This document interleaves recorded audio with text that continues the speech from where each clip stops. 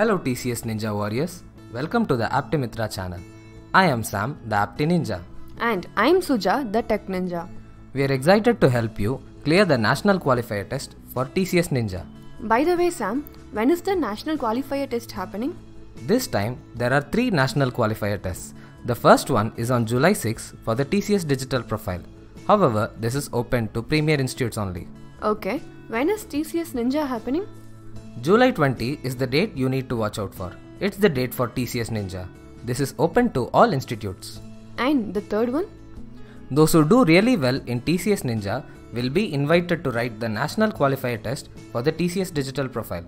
This will happen on July 27. This means that even if you are not from a premier institute, you have a shot at that TCS digital profile, but that's only if you top TCS Ninja. That's right, Suja. And to top TCS Ninja, you got to know the sections, the timings, the number of questions, and what kind of questions to expect. I hear that there are a few changes from the last year. Is that right? Yes, although the number of sections is the same as last year, this year the sections have different number of questions and duration. For example, last year the quant section had 20 questions with a limit of 40 minutes. This year, this section has 15 questions with a limit of 30 minutes. That's good news, right? Doesn't this make the section easier? I wouldn't be so sure. Since the time per question has not changed, the difficulty level of the question this year is likely to stay the same as last year. And like last time, they have an English section. But this time, you will have to answer 15 questions within 10 minutes. Yeah, but that's not a big change. Speaking of big changes, they have extended the time for the coding round to 30 minutes. This means they are likely to give more challenging questions in coding. That's interesting. Did they change the programming logic section too? It's more or less the same 10 questions in 20 minutes. So they have reduced the time for apti section and increased the time for coding section. What does this mean? This means that aspirants from non IT branches will find the process more challenging than last year.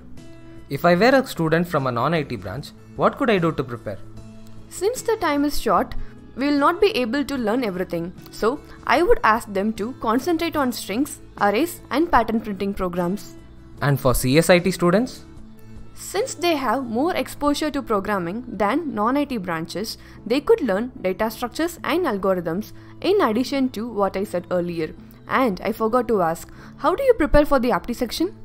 I would suggest they watch the YouTube videos we are going to host here. It will cover all the frequently asked topics for TCS, and there's a pretty good chance that you might even get the exact question. Oh, yes, we are going to do the same for technical as well. Really? Will you be covering both the sections? Yes, we'll be covering both the sections. That's cool.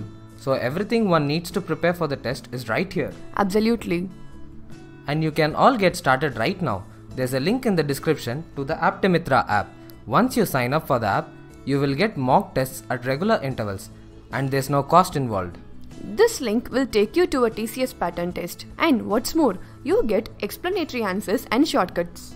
Not just that, we have a webinar this Sunday from 11 am to 1 pm. Wow, what's the webinar about? It's about 10 TCS Ninja quant shortcuts that only pros know. You will learn shortcuts that are not there in any books and are very hard to even find on the internet. That's so cool. They are getting secret shortcuts and free questions. I would definitely subscribe. Then they should also 100% subscribe. No, not 100%. What do you mean? They should not 100% subscribe. They should subscribe only if they are serious about clearing TCS Ninja. You scared me for a minute. So, friends, if you are looking for a way to prepare for the national qualifier test with less effort, less time, and less cost, this is the right place. What do you mean less cost? It's at no cost. It's totally free. But other places are making money from this. That's not our vision. Then I think they should definitely subscribe. Yep. So hit subscribe and the notification bell and take your free mock test with shortcuts and explanatory answers. See you on the next video. Bye. And don't forget to follow us on our social media pages. The links to our Facebook and Instagram account are in the description.